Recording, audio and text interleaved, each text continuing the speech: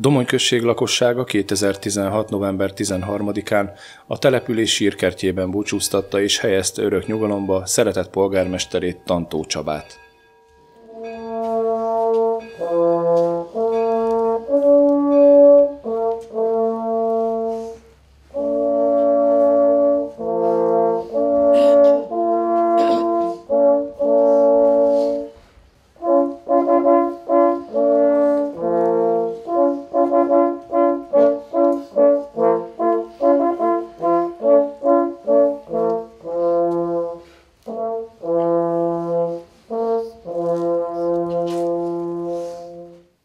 Család és a község nevében Sági Balázs, Domony evangélikus lelkésze mondott imát a ravatalnál. Gyászoló gyülekezet, testvéreim az Úr Jézus Krisztusban, amikor megtudtuk, a halál hír a fülünkbe jutott, ez sokkolt bennünket. El se akartuk hinni az első pillanatban, hogy ez igaz, ez megtörténhet. Aztán nagyot sóhajtottunk, valóban csak ennyi lenne az élet.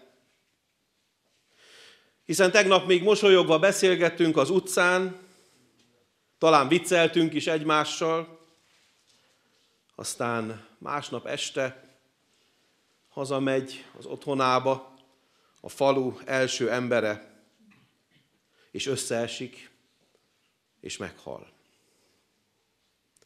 Aztán fölsejlett bennünk az a szomorú tény, hogy az édesapja is pont ennyi idősen, pont ilyen hirtelen halállal ment el, ettől csak még jobban fáj a veszteség. Mindazoknak, akik szerették, tisztelték Tantó Csabát, a polgármestert, az édesapát, a jó barátot, a lelkes vadászt, már pedig sokan szerették Tantó Csaba testvérünket, hiszen többször is bizalmat szavazott neki a falu népe, hogy vezesse, hogy fogja össze, oltalmazza ezt a közösséget. Vécsei László, a térség országgyűlési képviselője dicsérő szavakkal méltatta eltávozott kollégája életét, munkásságát, azt az erőt és energiát, amelyel a rábízott emberek gondjain igyekezett segíteni, és amelyel a település fellendítésén dolgozott. A meghatottság hangján szólt barátjához fűződő emlékeiről, a családját mélyen tisztelő és óvó emberről. Amikor eljutott hozzánk a hír, döbbenet és hitetlenkedés árasztotta el a szívünket. Mindannyiunk nevében mondhatom, akik itt állunk Ravatalodnál, hogy ezek az érzések máig velünk vannak. Még itt és most is szinte lehetetlen elhinni, hogy nem vagy többé közöttünk. Ismertük a mérhetetlen szerénységedet, a szülőfalud iránti alázatot, ismertük az elmaradhatatlan pipafüst édes illatát. Ismertük a szemed sarkában, a bajuszod billenésének árnyékában a mindig huncutságra készen bujkáló mosolyt. Egykori polgármester társadként, amikor mai polgármester társaid nevében is búcsúznom kell tőled, még inkább sajnálom, hogy csak 2006. szeptember 16-a óta ismerhetlek. Amióta először választott téged polgármesterévé Domony népe. A családot a legbecsesebb kincsetként őrizted a magatok számára. Utalást sem tettél arra, hogy milyen rögös és kanyargós megpróbáltatásokkal teli életutat jártál be, mire végre meglelted igazi hivatásodat. Mondják, a természet szeretete, az erdő vadvilága nem egyszerűen alapvégzettséget szerinti munkád volt korábban, hanem gyermekkorod óta kitartó igazi szenvedélyed. A légkörben, amit teremtettél, érezni lehetett, hogy szűkebb és tágabb környezetedben az egész Galga mentén viszont szeretnek. Csillogó szemekkel beszéltél terveidről, a falu csapadékvíz elvezetési gondjainak hosszú távú megoldásáról, a kastélyok rendbetételéről és a domonyi közösség szolgálatába állításáról. A Szociális és Gyermekjóléti Főigazgatóság munkatársai nem győzték dicsérni emberségedet és segítőkészségedet, ami döntő hatással volt az ügymenetre, így hamarosan megépülhet a speciális leánygyermek otthon, és méltó új otthon kaphatnak a pszichiátriai betegek is. Kedves Csaba, te sem szeretted a nagy szavakat, én is igyekszem kerülni. Bocsáss meg, ha személyes megrendültségem okán ez most mégsem teljesen sikerül. Bizony, most minnyájunkban fölvetődnek eféle már soha nem teljesülő óhajok, pedig jól tudjuk, hiába való a lehetetlent kísérteni.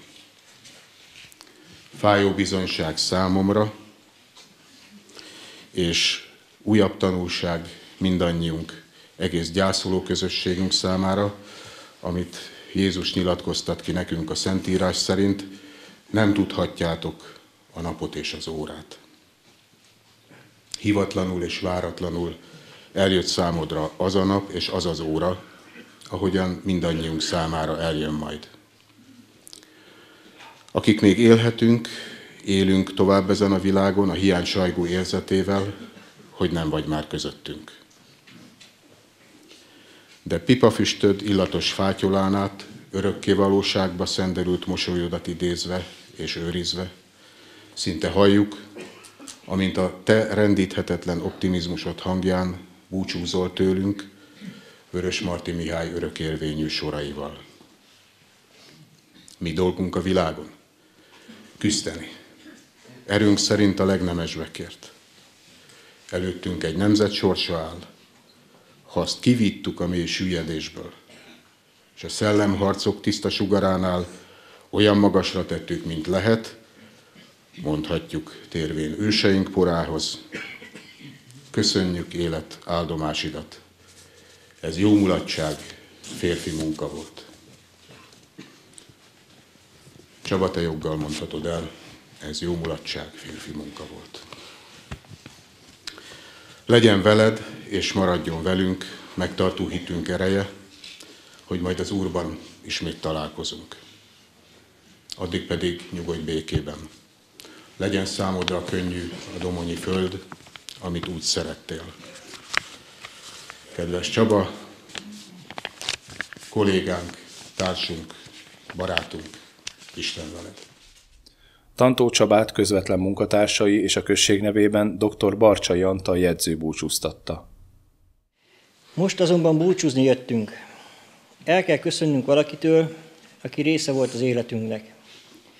Mindennapos része volt úgy az önkormányzat, mint a polgármester hivatal életének, de a hozzáforduló emberek életének is.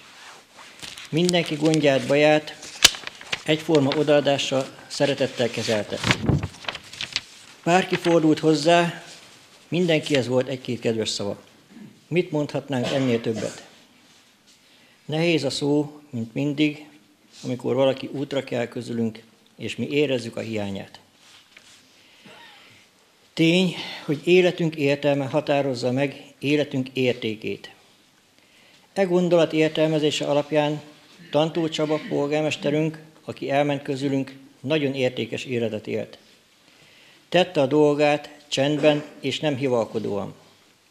Sosem szeretett a fényában úszni, mindig azt mondta, az elvégzett munka minősítsen majd engem. Élete értelme már több mint tíz éve az volt, hogy gondoskodott falunkról, akiket a sors, vagy ha tetszik, a gondviselő, gondviselés rábizott. Domony, Domonyvölgy lakosairól. Megélte a mindennapokat a maguk teljességében, és nem csak élt. Ő most is él. Mindaz az idő, amit nekünk ajándékozott, mindaz a figyelmesség és kedvesség, amivel megajándékozott bennünket, valamilyen titokzatos módon bennünk él tovább. Kívánom minnyájunknak, hogy vigasztaljon meg mindaz, amiben hiszünk. Kívánom elsősorban a gyászoló családnak, amelyet leginkább megsebzett az ő váratlan távozása. Kívánom magunknak is, akik jól ismertük őt. Tantó Csaba polgármester úr, Isten veled, nyugodj békében. Tantó Csabát sok százan kísérték el utolsó útjára, nem csupán a település lakói, de az egész térségből eljöttek mindazok, akik ismerték, szerették, tisztelték. Végső nyughelyére vezető útját a kegyeret koszorúi jövezték.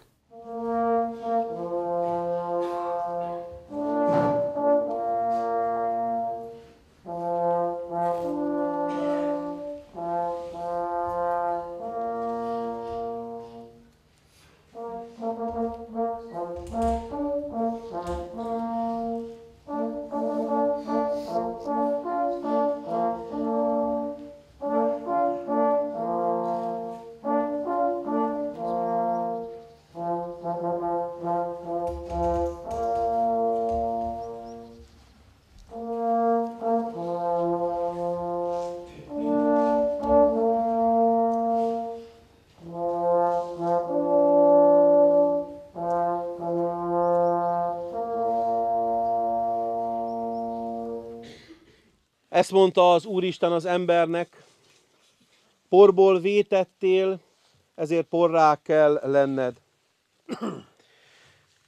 Ezért Tantó Csaba testvérünk hamvait is elhelyezzük most nyugvó helyére, miután porrá lett az, ami porból vétetett.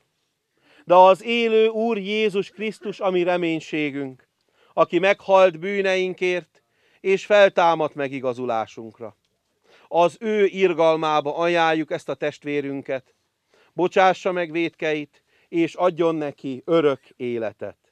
Dicsőség az atyának, és a fiúnak, és a Szentléleknek, miképpen volt kezdetben, most és mindenkor, és mind örökkön örökké. Ámen. Végezetül Istennek népe, az Úr áldjon meg, és őrizzen meg téged az Úr világosítsa meg az ő szent arcát te rajtad, és könyörüljön rajtad. Az Úr fordítsa az ő szent arcát, az ő Krisztusát te feléd, és adjon te néked békességet. Amen. Természet és vadászat szeretetét vadászkürtők hangja idézték, és hogy az elmaradhatatlan pipafüst mindig vele legyen, kedvenc pipáját és dohányát fia mellé helyezte.